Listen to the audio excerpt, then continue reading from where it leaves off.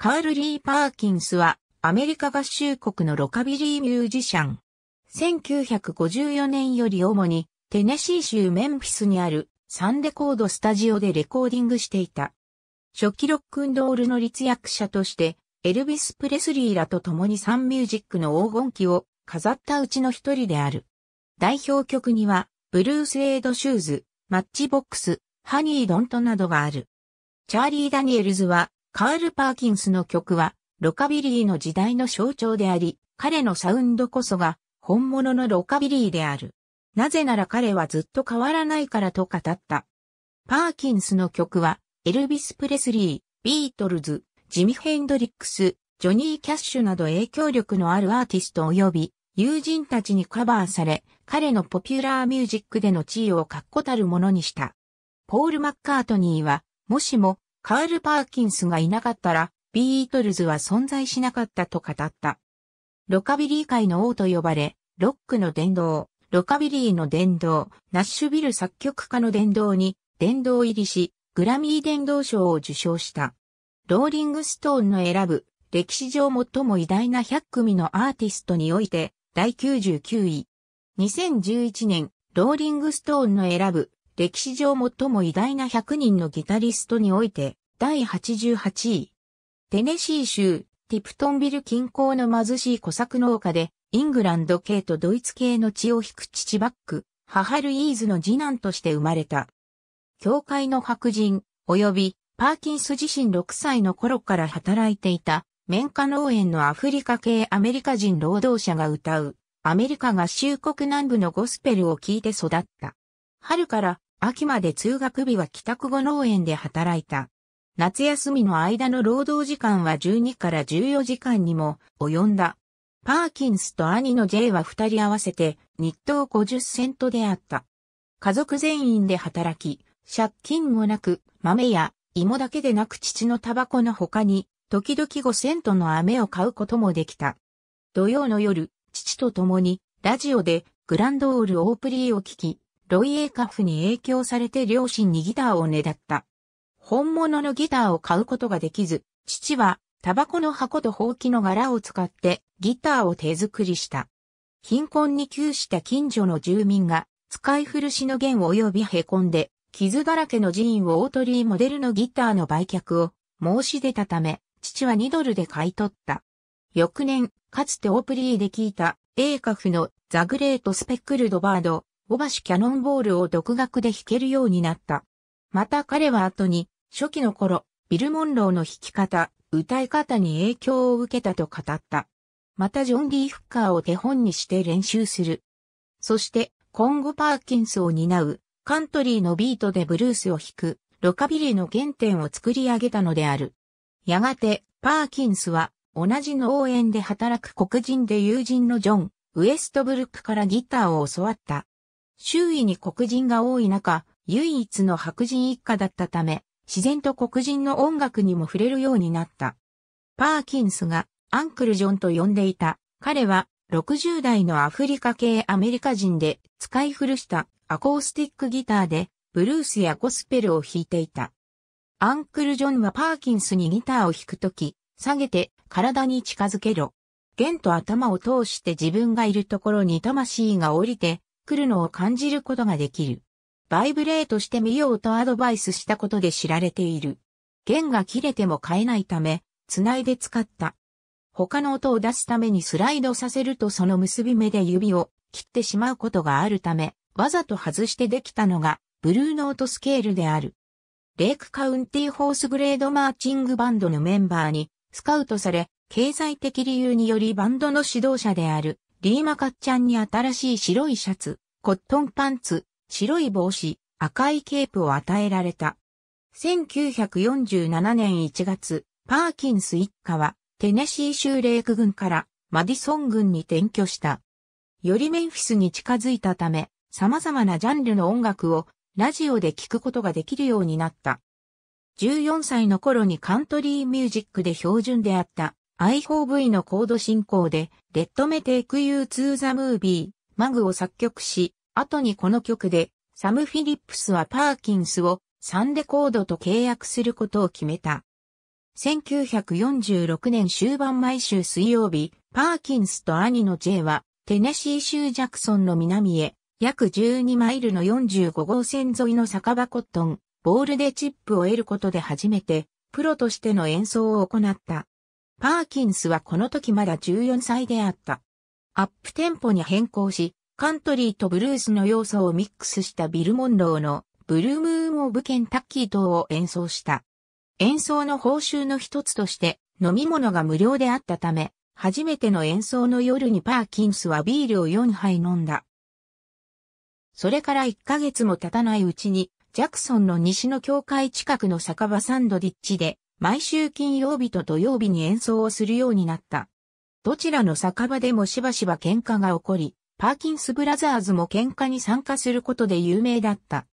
その後2年間、パーキンスブラザーズは、ジャクソン周辺のエル・ランチョ、ザ・ロードサイド・イン、ザ・ヒルトップなど他の酒場でも演奏を始め、よく知られるようになった。パーキンスは、弟のクレイトンを説得して、ベースフィドルを演奏させて、バンドに取り込んだ。1940年代後半、テネシー・ランブラーズのメンバーとして、ジャクソンのラジオ局、 WTJS-AM にレギュラー出演していた。ヘイラフとフロリックにも出演し、グランドオール・オープリーでのロバート・ランの Talking Blues など2曲を演奏していた。 The Early Morning Farm Home Hour に最初はパーキンスのみ、後に兄弟も出演した。圧倒的な支持を受け、マザーズ・ベスト・フラワー提供の15分間のコーナーを持つことになった。1940年代終盤、パーキンス・ブラザーズは、ジャクソンでは最も有名なバンドになった。パーキンスは、この数年間、音楽の他に仕事を持っており、当初面活まみをしていたが、その後、デイズデイリーに勤務し、さらにその後は、マットレス工場と電池工場に勤務した。1951年から1952年までは、コロニアルベーキングカンパニーに勤務した。1953年1月、パーキンスは長年の知人であったバルダ、クライダーと結婚した。バルダは自分が働いてパーキンスのベーカリーでの勤務時間を減らして酒場での演奏時間が増えるようにし、パーキンスは週6日演奏するようになった。同年後期、それまで音楽の経験がなかったが、天性のリズム感がある W.S. ホランドがドラム奏者として参加した。マルコム・イエル・ビントンは彼らを1953年にテネシー州コビントンで演奏していた頃から知っていた。イエル・ビントンはパーキンスについて彼独自の独特のブルースのようなスタイルを持っていたと語った。1955年頃までパーキンスはテープレコーダーを借りてデモテープを自作し、宛先は氏名と社名のみでコロンビアレコードや RCA レコードなどに送った。クラブ等に出演する傍ら、デモテープをいろいろなレコード会社に送るも、全く反応がなく、意気消沈としていた。1954年7月、パーキンスと妻のバルダは、サンレコードから、すでにデビューしていたエルビス・プレスリー、スコティ、ムーア、ビル・ブラックの新曲、ブルームーン・オブ・ケンタッキーをラジオで聴き、バルダはパーキンスに、メンフィスにいる、誰かがきっと理解してくれるはずだと語った。後にプレスリーはパーキンスに会ってエルラン書での演奏を聞くためにジャクソンに行ったことがあると語った。ブルームーン・オブ・ケンタッキーが終わると彼は私たちの演奏を理解してくれる人がメンフィスにいる。彼に会わなくてはならないと語った。数年後、演奏仲間のジーン・ヴィンセントはインタビューで、ブルームーン・オブ・ケンタッキーについて新しいサウンドではなくその時すでに多くの人々、特にカール・パーキンスが、このようなサウンドを作り上げていたと語った。エルビスの音楽性に自分たちを重ね合わせたパーキンスは、対抗意識を燃やし、メンフィスのサンレコードを訪ねる。幾度か、売り込みに通い、ようやくオーディションを受けられることになる。1954年10月上旬、サンレコードでサム・フィリップスにオーディションされ、パーキンスが10代の時にすでに作っていたムービーマグタ数曲披露し、合格した。1955年3月19日、ムービーマグでデビューし、B 面のターンアラウンドが地域的にヒットした。南部及び南西部のラジオでこの曲が流され、パーキンスはアーカンソー州マリアナ、ウエストメンフィスでプレスリーと共演することになった。プレスリー及び自分の観客についてパーキンスは叫んでいる観客の前に登場しようとしたが、観客たちはプレスリーの登場を待ち望んでいた。それはまるで爆発物のようだった。世界中がロック一色になったようだったと語った。サンレコードから次にジョニー・キャッシュとテネシー・トゥーがデビューすることになった。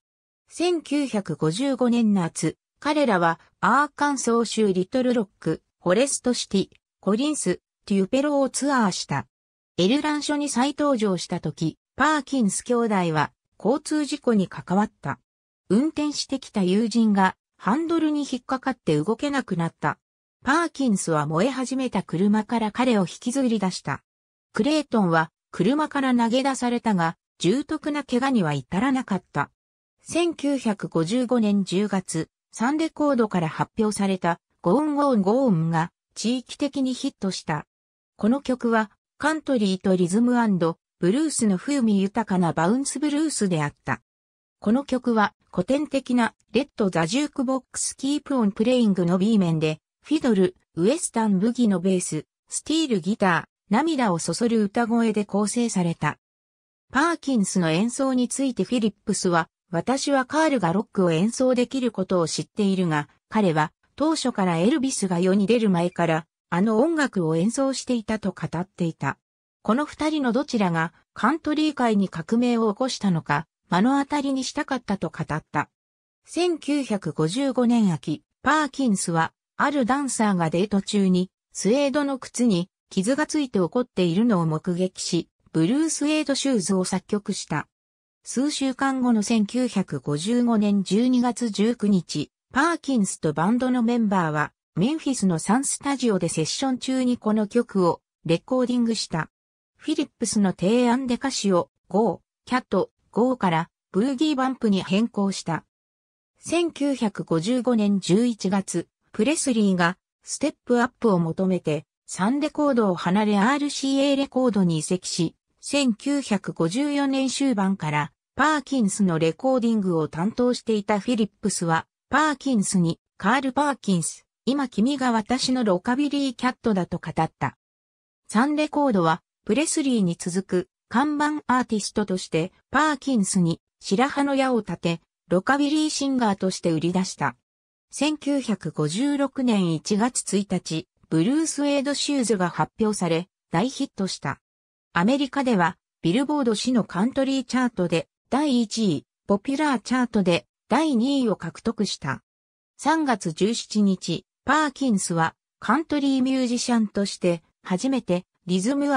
ブルースチャートで第3位を獲得した。その夜、ABC のオザークジュビリーでテレビデビューし、この曲を演奏した。イギリスではこの曲は第10位にランクインした。サンレコード所属アーティストで100万枚売り上げた最初の曲となった。B 面のハニードントはビートルズ、ワンダージャクソン、T-Rex にカバーされた。ビートルズ版でジョン・レノンがリードだったが、後にリンゴスターになった。レノンは Lost Lennon Tapes でもこの曲を演奏した。1956年3月21日、バージニア州ノーフォークでのショーを終えたパーキンス一行は3日後に放送を控えている NBC Perry Como Show の撮影のためニューヨークに向かった。3月22日の夜明け前、デラウェア州ドーバーとウッドサイドの間の13号線でスチュアート・ピンカムが運転していたとされる。パーキンス一行が乗っていた車は途中でピックアップトラックと衝突し、深さ1フットの水路に入ってしまい、パーキンスは水中にうつ伏せに投げ出された。ドラム奏者のホランドがパーキンスをひっくり返して溺れるのを防いだ。彼は首の脊椎骨を3箇所骨折、脳震盪、鎖骨骨折、全身に切り傷を負った。パーキンスはその後1日意識不明だった。40歳の農民でピックアップトラックの運転手だったトーマス・フィリップスはハンドルに突っ込み死亡という大事故だった。兄の J は内臓損傷を伴う首の骨折を負い、この事故が元で合併症により数年後に死亡した。3月23日、ビル・ブラック、スコティムーは、DJ フォンタナは、翌日プレスリーと共演するために、ニューヨークへ向かう途中、パーキンスを見舞った。フォンタナはパーキンスが、今まで会った人々の中でも君たちが、天使に見えたと語ったと思い返した。ブラックは彼に、エルビスから愛を込めてと語り、隣のベッドには、酸素テントが付けられていたにもかかわらず彼のタバコに火をつけた。一週間後、プレスリーから見舞い電報が届いた。3月22日の時点で、ブルースエイドシューズは50万枚以上を売り上げており、フィリップスはペリーコモ賞において、ゴールドレコードでパーキンスを驚かせようと画策した。パーキンスは事故から回復してきており、ブルースエイドシューズはポピュラー、リズムブルース、カントリーの地域的チャートで第1位を獲得し、ビルボード市のビルボードホット100とカントリーチャートでも第2位を獲得していた。プレスリーのハートブレイクホテルはポップスとカントリーで第1位であったが、リズムブルースのチャートではハートブレイクホテルよりもブルースエイドシューズの方が上位であった。4月中旬、ブルースエイドシューズは100万枚以上を売り上げた。4月3日、ジャクソンで療養中、プレスリーが The Milton Berle Show に初登場して、 Blue Suede Shoes を演奏した。プレスリーにとって全米放送でこの曲を演奏するのは、 The Steve Allen Show での2回に続き、これが3回目であった。プレスリー盤は、パーキンス盤よりも有名になったが、ビルボード誌のポピュラーチャートでは、第20位に止まった。1956年4月21日、テキサス州、ボーモントのビッグ、D ジャンボリーでのライブで復帰した。ツアー再開前、フィリップスはまだ療養中の J の代理を務めるエドシスコと共にサンレコードでレコーディングセッションを企画した。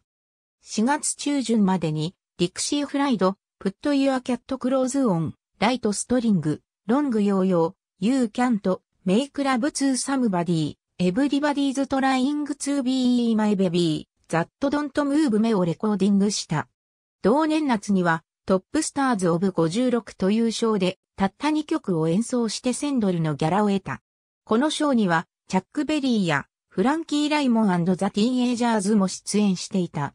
パーキンスがサウスカロライナ州コロンビアのステージに上がると観客に押し上げられて顎から血を流した若者がいることに驚いた。ハニードントの乾燥中、空いている警備された衣装部屋に連れて行かれた。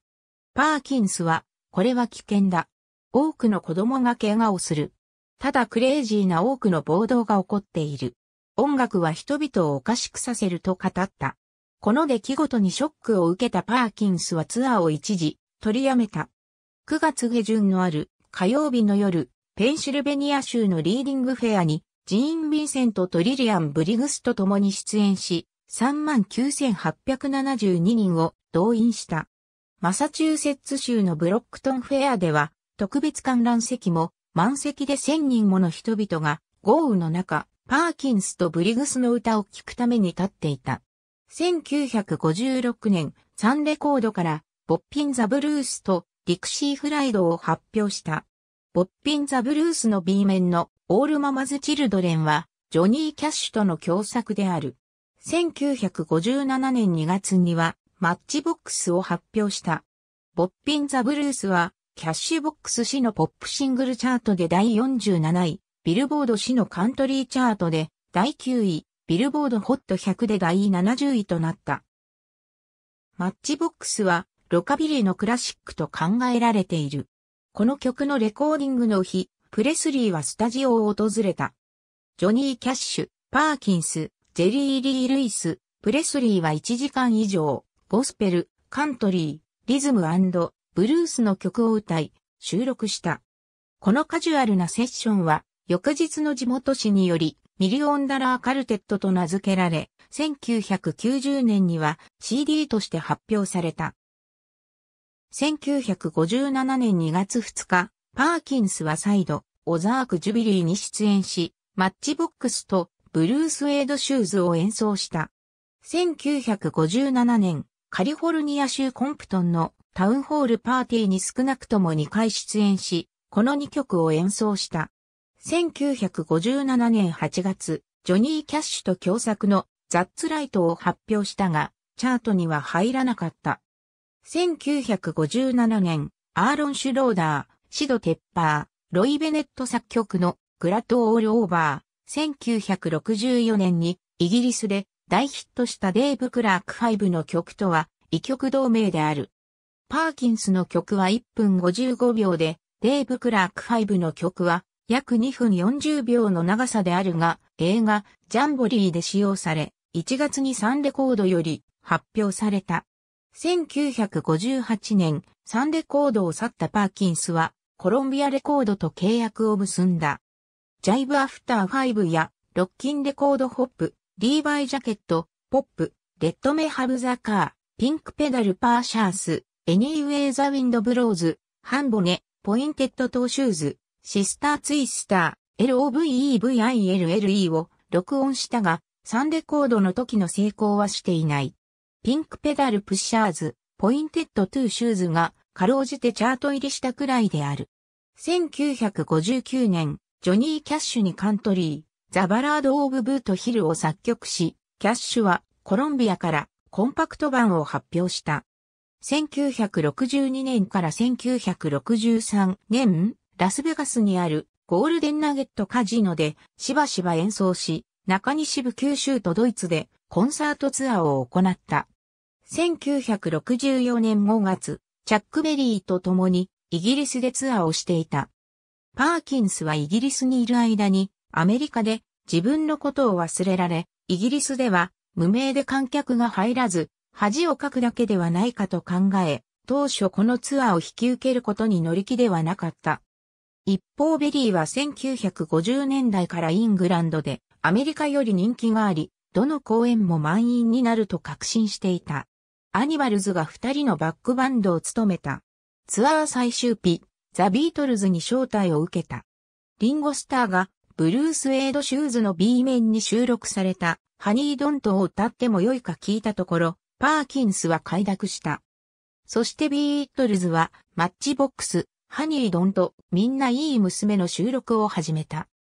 みんないい娘は、もともとは1936年にレックス・グリフィンが作曲、演奏、収録したものであったが、1938年にロイ・ニューマンも同じ題名で収録し、パーキンスがモダンに作曲し直したものであった。1963年、グラッドオールオーバーを2パターン収録した。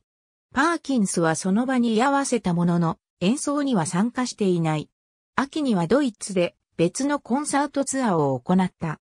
1964年6月、ザ・ナッシュビル・ティーンズと共にブランスウィックレコードでシングル、ビッグ・バッド・ブルーズを発表した。ジョニー・キャッシュとツアーに出ていた頃、自分で更生しようとビールだけにしていたが、オクラホマ州タルサでアーリータイムズをボトルで4日間飲み続けた。鏡に自分が4から5人見え、すべてがぼやけて見える状態でカリフォルニア州サンディエゴの公演に出演した。さらにアーリータイムズを飲み、ツアーバスで意識を失った。朝までに幻覚が起こり、大きな蜘蛛、恐竜、巨大な彼らが私を踏もうとした。バスは海岸に止まった。彼は自分で隠したウイスキーをまた飲みたい衝動に駆られた。彼はボトルを持ってきてひざまずき、神様、私はこのボトルを投げ捨てようと思います。私はあなたを信じているということを証明します。太平洋にボトルを流しました。私は正しいことをしたと確信していますと語った。パーキンスと薬物問題のあったキャッシュは互いにその自制をサポートし合った。1968年、キャッシュはパーキンスがスタンダードナンバーのキャンザサークル PE アンブロークンを元に作曲したダディサングベースを発表し、カントリーチャートで6週間第1位となった。グレン・ギャンベル、ザ・スタトラー・ブラザーズ、カール・ストーリーなどがカバーした。この曲は CMA アワード楽曲賞にノミネートされた。キャッシュのヒット曲 A ボーイネームドスーではパーキンスがリードギターを務め、カントリーチャートで5週間第1位、ポピュラーチャートで第2位を獲得した。パーキンスは約10年間キャッシュの公演に同行し、ザ・ジョニー・キャッシュショーにも出演した。パーキンスはキャッシュとデレク・アンド・ザ・ドミノスと共にマッチボックスを演奏した。またキャッシュはホセ・フェリシアーノとマール・トラビスとのリハーサルジャムにもパーキンスを参加させた。1969年4月16日、クラフトミュージックホールでキャッシュが司会を務め、パーキンスがレストレスを歌った。またこの時、ザ・スタトラー・ブラザーズのフラワーズ・オン・ザ・ウォールも演奏された。1969年2月、パーキンスはボブ・ディランと共にシャンピン、イリノイを作曲した。ディランは2月12日から21日までテネシー州ナッシュビルでアルバムナッシュビルスカイラインをレコーディングし、6月7日にザ・ジョニー・キャッシュ賞に出演した時にパーキンスに会った。ディランは作詞をしていたが行き詰まっていた。パーキンスがリズムを弾くと、ディランは最後まで書くことができ、あなたの曲です。持って行って曲をつけてほしいと語った。1969年、この曲はパーキンスのアルバム、オントップに収録された。1969年、パーキンスはコロンビアのマリー・クルグマンとニューヨークのハドソンバレーで活動するロカビリーグループのニューリズムブルースカルテットと集まった。ボッピン・ザ・ブルース、ターンアラウンドなどのように NRBQ がパーキンスのバックを務め、いくつかの曲はパーキンス、NRBQ それぞれがレコーディングした。1974年2月16日、人気カントリー番組、ヒーホーにキャッシュと共に出演した。また、1970年には、ジョニー・キャッシュの弟、トミー・キャッシュに書いた、ライズシャインがカントリーゴスペルチャートのトップ10内に入り、ビルボード市のカントリーチャートで第9位、カナダのカントリーチャートで第8位にランクインした。パーキンスが作曲した1970年の映画、お前と俺のサウンドトラックからアリーン・ハーデンのトゥルーラブイズグレーターザンフレンドシップが第40位以内に入り、ビルボード市のカントリーチャートでは第22位、同年、アルマルティーノ版の同曲はアダルトコンテンポラリーチャートで第33位にランクインした。長年サム・フィリップスとロイヤルティーで法的に争っていたが、1970年代のパーキンスの曲はパーキンスが所有することになった。1981年、元ビートルズのポール・マッカートニーと共に、ゲット・イットをレコーディングし、パーキンスは歌とギターで参加した。この曲は1982年のヒットアルバム、タック・オブ・ウォーに収録された。またこの曲はややアレンジされ、シングルカットされたアルバムのタイトル曲の B 面にも収録された。またこの曲はパーキンスがマッカートニーと共に作曲したとされる。自然発生したパーキンスの笑い声で曲はフェードアウトする。1980年代、ロカビリーのリバイバルが起こり、パーキンスは再び脚光を浴びるようになった。1985年、映画、ポーキーズ、最後の反撃のサウンドトラックとして、ストレイキャッツのリー・ロッカーとジム・ファントムと共に、ブルース・ウェイド・シューズを再収録した。1985年、ジョージ・ハリスン、エリック・クラプトン、デーブ・エドモンズ、リー・ロッカー、ロザンヌ・キャッシュ、リンゴ、スター及びパーキンスは、ロンドンにあるライムハウススタジオで、ブルース・ウェイド・シューズ、アロカビリー・セッションなる、テレビの特別番組を収録した。1986年1月1日、チャンネル4で放送された。パーキンスは16曲及び、アンコール2曲を演奏した。パーキンスとその友人たちは最後に作曲されてから30年以上経ったパーキンスの著名な曲を演奏し、パーキンスは涙を流した。この特別なコンサートは、パーキンスの後年のキャリアの記念すべき出来事の一つとされ、パーキンスと著名なゲストにより行われた、この活気ある演奏はファンたちを大きく喜ばせた。2006年、スナッパーミュージックより DVD が発表された。1985年、ナッシュビル作曲家の殿堂に殿堂入りし、1987年、彼の音楽への貢献が広く認知されていることにより、ロックの殿堂に殿堂入りした。また、ブルース・ウェイド・シューズが、ロックの殿堂が選ぶ500曲のロックに選ばれ、グラミー殿堂賞を受賞した。このジャンルの先駆者としての貢献は、ロカビリーの殿堂にも認知されている。1985年、ジョン・ランディス監督の映画、眠れぬ夜のために、で、唯一の映画出演をした。デビッド・ボーイと互いに殺し合う役を演じた。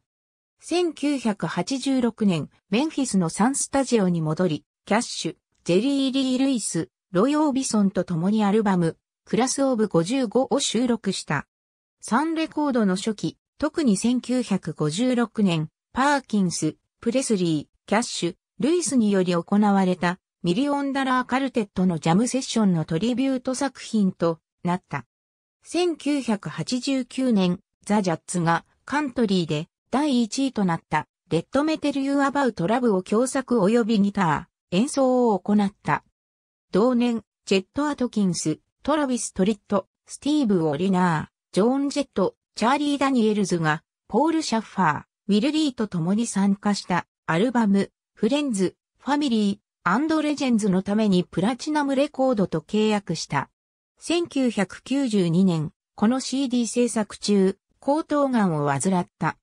サンレコードに戻り、エルビスのリードギターをしていたスコティ・ムーアと CD を作成した。ベルミードレコードから発表された、この CD706 レユニオンには、DJ フォンタナ、マーカス・バンストーリー、ザ・ジョーダネアーズが参加した。1993年、ケンタッキー州、グラスゴーで、ザ・ケンタッキーヘッドハンターズと共に、ディクシー・フライドのミュージックビデオを再制作した。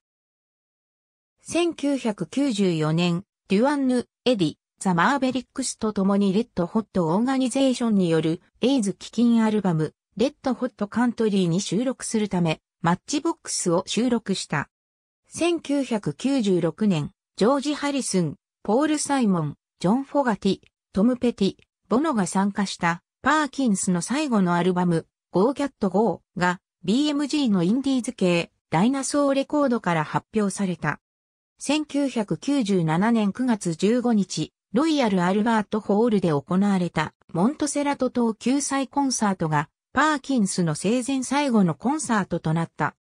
1998年1月19日、テネシー州ジャクソンにあるジャクソン・マディソン軍立病院で咽頭癌から来る脳梗塞のため65歳で死去した。